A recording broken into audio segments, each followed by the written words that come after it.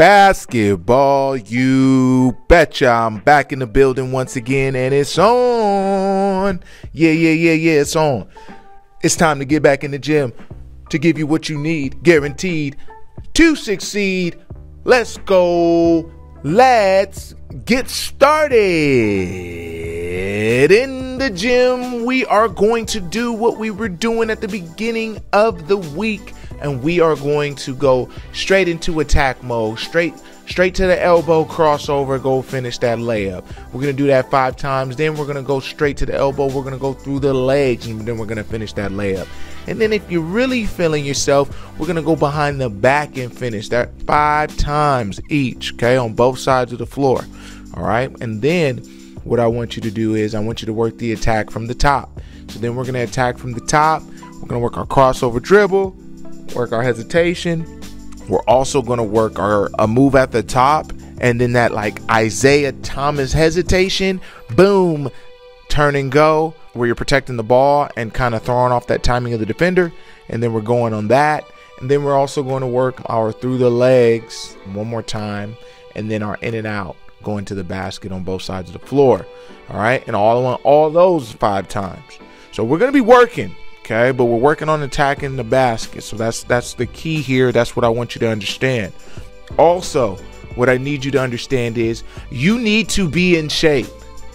You can't keep working out at your pace. You need to be in shape. That's right. Put it on the screen. You need to be in shape. All right, that's it. There's no excuse of why you shouldn't be or you can't be. All right. And that is going to be key. So for that, we are going to run a liner. Okay. After we run a liner, we're going to run a 17. All right. You're going to have the basketball in your hand on the 17, and you're not going to have a basketball on the liner. All right. When you're running the 17, make sure you dribble with your weak hand so you know what to do when it's time to be pressured with that weak hand. You're going to have plenty of practice while being tired dribbling that basketball. All right.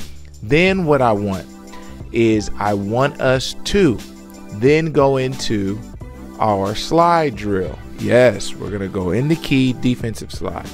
After we do in the key defensive slides, we are then going to do rebounding drill. Okay, then after the rebounding drill, you're going to shoot free throws. So it's all over the place right now in this workout.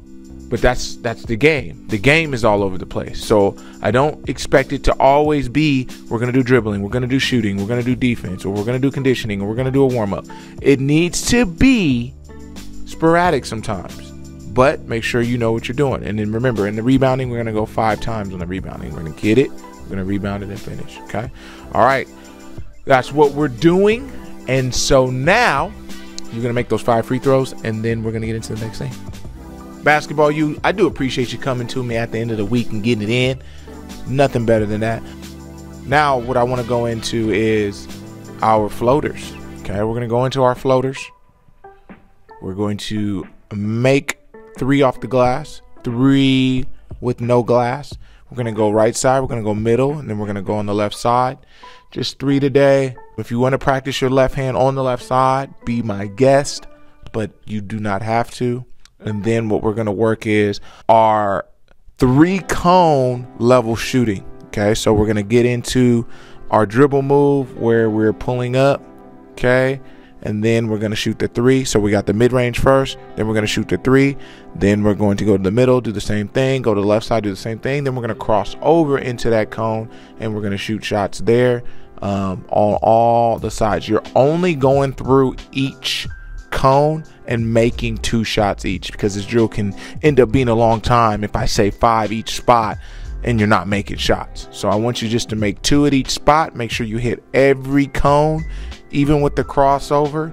Um, when going from the three point line to the secondary line and shooting the mid range.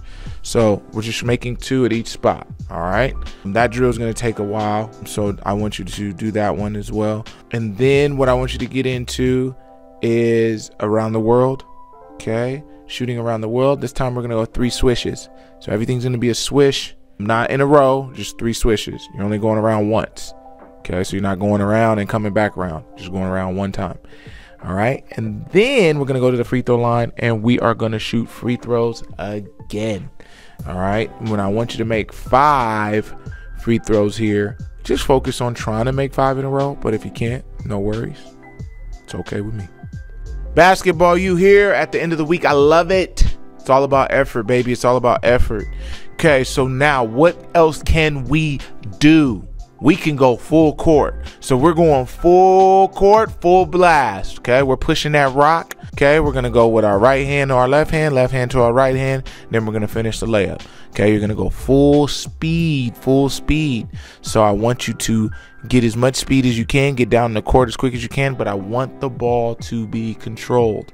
And then we're gonna go finish our layup. Okay, we're gonna do this on both sides of the floor. Let me get three of these with the made layup. If you miss the layup, you will do it again until you make three.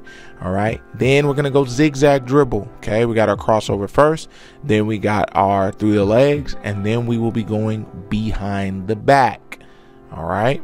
So that is what we are doing to work on some more ball handling, going north and south. Okay. Not so much east and west or just being stationary. So we want to make sure we're pushing that ball up the floor hard, being able to alternate hands with control.